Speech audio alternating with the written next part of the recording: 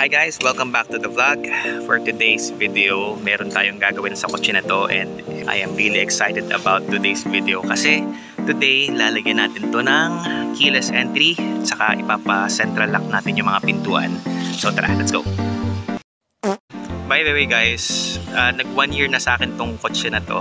So it's go this is going to be sort of like a partial one year review nito. May mga nadagdag na mga parts dito na yan, mga pakonti-konti lang naman and in, in this video, yan, sasabihin ko sa inyo yung mga nadagdag since then. Pero yan, for now, punta na tayo dun sa shop na, na mag install nung keyless entry ko kasi malamang haba na yung pila doon kasi tinanghali na nga tayo ng, ng gising. Oh, and Sir Chris, tinatanong niya kung ano na ba yung kondisyon ng heads-up display ko na in-install ko a couple of months ago. Gumagana pa naman siya. Gumagana pa siya. Yan. Yan. Medyo diniliman ko siya ng konti kasi pag gabi, sobrang liwanag niya, nakaka-distract. So, ang ginawa ko, na-adjust pala yung brightness niyan. Medyo nilabuan ko ng konti. Yun nga lang, pag maliwanag sa labas, medyo hirap siya makita. Pero pag gabi naman, tama lang. So, yun ginagawa ko dyan kapag let's say nagpa-park ako sa mainit na lugar, ang ginagawa ko, tinatakpan ko siya ng, ng ganito or, or basahan para hindi siya masyadong masunog sa, sa araw. Pero yun, gumagana pa naman.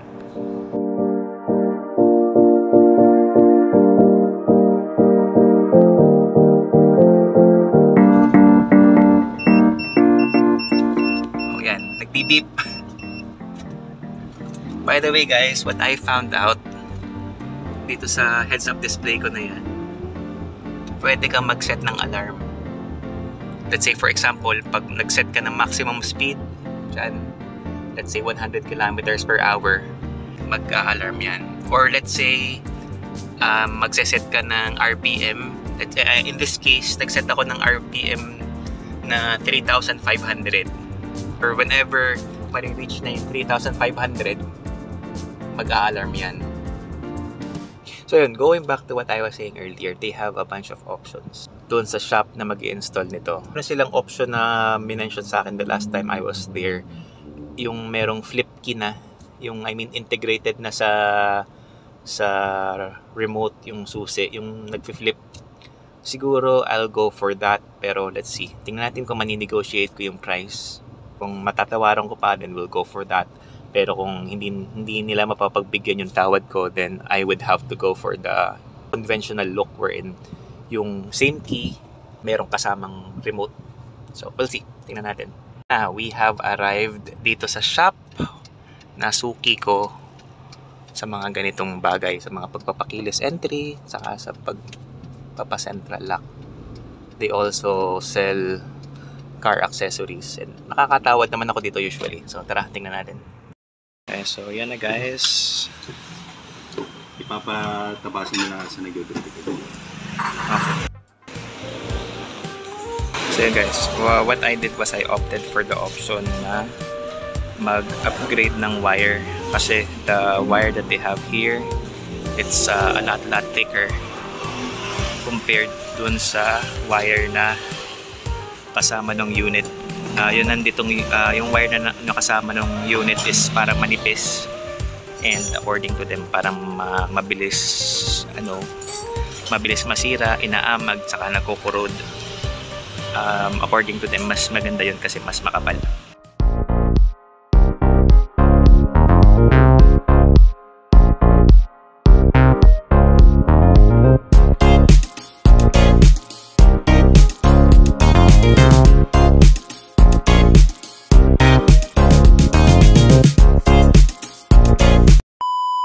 this point nilalagyan na ng motor yung mga pintuan ito ito yung mga motor na ginagamit nila para maging centralized yung, yung lock. So mangyayari kakabit to sa lahat ng pintuan dyan dito tapos yun. Para pag pinindot mo yung remote yun, ito yung tataas. Ito yung mag-a-unlock ng mga pinto I'm really excited to have this working kasi this is for for convenience na rin kasi noon dati uh, pagpapasok kami ng sasakyan. Siyempre sususiin mo yung isang door, tapos pagpasok mo, you have to reach in and just unlock the door one after the other and ilang pintuan yun. So medyo matagal. So with this, isang pindutan lang, lahat ng door mag-unlock na. Kaya yun, mas mabilis pumasok sa sasakyan. Saka at the same time, I opted for this kind of uh, remote, yung kasama na yung key. So yan, para mas malinis tingnan. Uh, one thing na we noticed by the way when we took off the sidings is yung ano ko pala, yung speaker ko pala dyan, sira na. That needs to be replaced. But that's going to be a project for another day. Kasi medyo may kamahalan din yung speaker. So, next time na lang.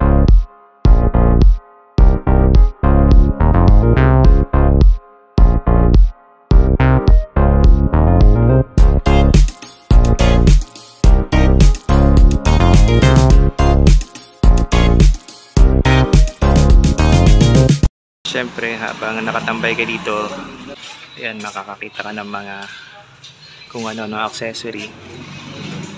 Ayan, tapos siguro next project would be ito, head unit. Tapos ano pang haba. Ayan, meron din dito mga diffuser. Kaya lang wala yatang pang iyon dito. Ewan ko lang.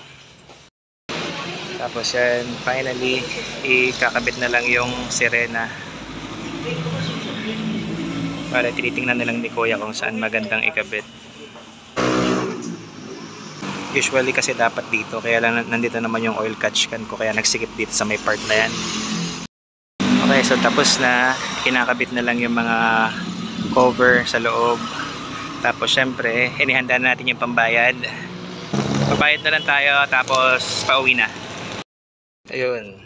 So natapos din. Shout out sa auto check car accessory center dito lang sila sa Barangay Marawoy. So ito yung landmark. Ayan. If you guys need to have your car alarmed installed, yan, punta lang kayo dito. Malapit. Harap lang siya ng jet dust. So if I were you, punta kayo na maaga kasi madami nagpapagawa dito. But we are not yet done. Kasi yung susi na kasama na remote is blank pa. So pupunta tayo ngayon sa mga nagkiki duplicate tapos ipapaduplicate natin. So tara. So, nakompleto na natin lahat ng task for today uh, para sa kotse na to. Uh, napakabitan na nga natin ng keyless entry tapos meron na siyang centralized na lock. Ito na yung susi. Tapos kanina, yan, napa napa-duplicate ko na rin yung susi. Yan. I-try natin tong keyless entry niya. So yan, pag-lock. Alright. So ayan. Nakalock siya tapos pag i-unlock ito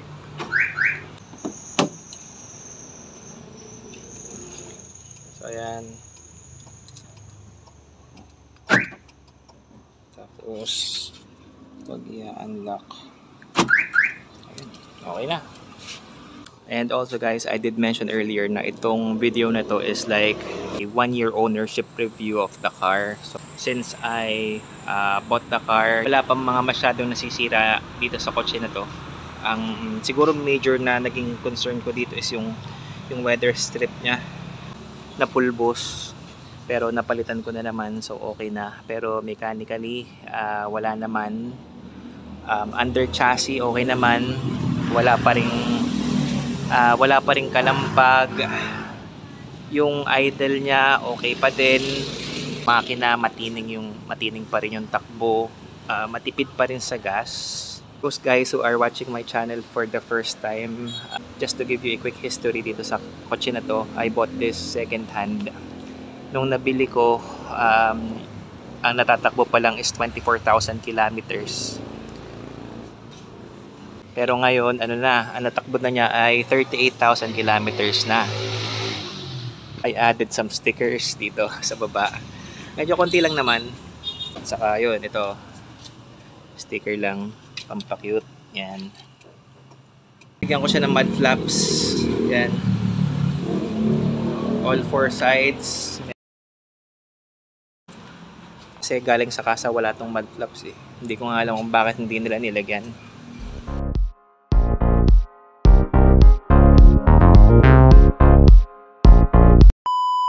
And one last thing, I added ito yung trunk tray. Yan. Pakalaking tulong kapag umuulan, kapag maglalagay ka dyan ng mga basa para hindi bumaho yung carpet. So ito guys, yung interior ng kotse. Again, dito sa likod yung mga yung upuan, okay na okay kasi the back seat it's barely being used kasi most of the times ako lang naman yung nasa kotse. Yan ito, itong mga sidings okay pa rin. Wala ma, wala pa rin crack sa dashboard. Siguro yung pinaka-issue nitong interior is yung seats. Yan, nagkakameron siya ng crack dito kaya ako siya nilagyan ng ganan. Parang patch kasi nag, nag ano siya, nag nagka-crack siya. Mas malala doon sa other side kasi syempre ako ako yung laging nakasakay sa kotse. So yung driver seat yung gamit na gamit. Later on, dadalhin ko na lang sa upholstery shop para magawa nila ng maganda para magmukha na uling fresh yung yung interior. Um, I would say na sulit pa rin yung pagkakabili namin. Ah, yung mga issue naman kasi ah, minimal sa akin as long as walang mechanical issue walang issue sa under chassis okay na rin matipid pa sa gas saka yun madaling i-maintain so yan So there you go, that concludes my one year review of this car right here. Again, this is a 2018 uh, Hyundai Ion. If you guys found value dito sa video na to, please make sure that you hit the like button. Please click on the notification bell para at least ma-update kayo if I come up with new videos. And please make sure that you are subscribed to my channel because as I always say, I make these videos just for you guys. Bye now.